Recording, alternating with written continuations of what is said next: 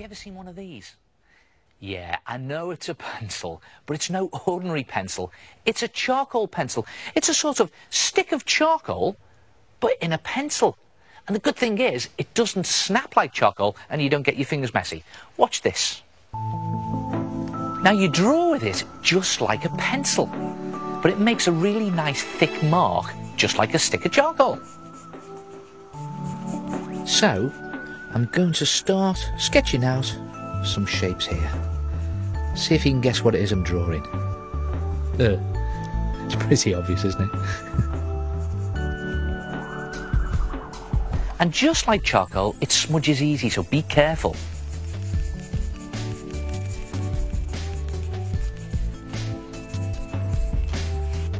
Don't be too perfect with it, nice and sketchy. The good thing about charcoal is you get this lovely atmospheric effect.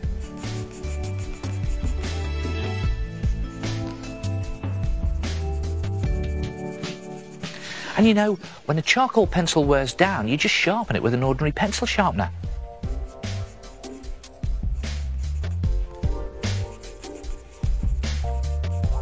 You can smudge it to create shading.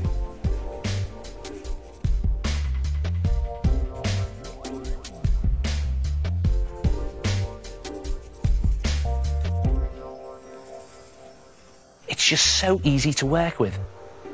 Brilliant. And what's charcoal's best friend? Chalk! Yeah.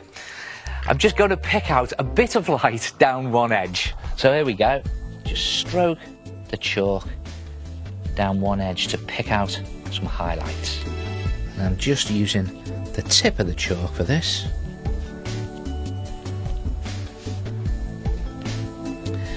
Now, let's go dotty. I'm just doing loads of dots all around the horse's feet. Sort of covering up where their feet would be. And look at this. It starts to look like they're charging through the water. And I'm just going to use the sharp edge of the chalk to flick out some spray.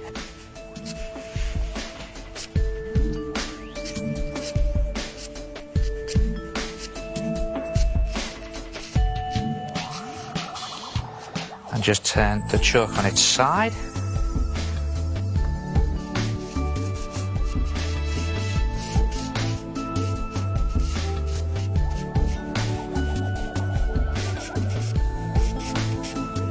And again, a little smudge here and there, I think.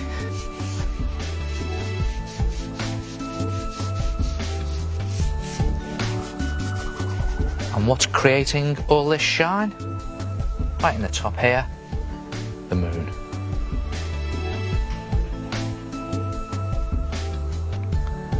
give it a smudge to make it hazy. And finally, some reflection on the water.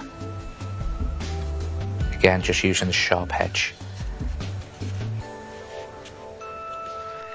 Try it yourself. A charcoal pencil picture. With a touch of chalk.